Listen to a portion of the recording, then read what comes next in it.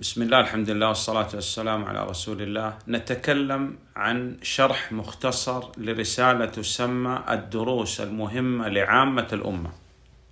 نبري الله كلمنت بيسي كورديوسو hablaremos brevemente sobre un resumen del libro llamado las lecciones más importantes para el musulmán y la musulmana.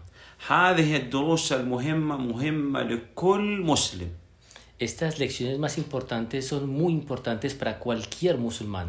مهمة للمسلم الجديد أول ما يدخل في الإسلام هذه من أهم الرسائل Son importantes para el musulmán nuevo, quien acaba de entrar al Islam. Es una de las, eh, de las eh, lecciones más importantes. تصلح أيضا لغير المسلمين También son excelentes para los no musulmanes. تصلح أن تترجم بكل لغة Y también son excelentes para traducirlas a cualquier lengua. فيها كيف نتعامل مع القرآن En ellas se encuentra cómo debemos tratar con el Sagrado Corán. وفيها التوحيد En ellas también se encuentra el monoteísmo islámico وما يضاد التوحيد الشرك y la diferencia entre el monoteísmo islámico y la idolatría وفيها ما يتعلق بالصلاة صفة الصلاة y lo que se relaciona con la oración y con las, propi- las características de la oración.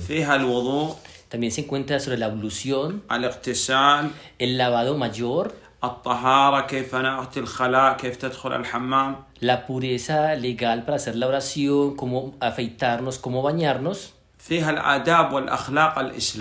Se encuentran las etiquetas y la ética islámica.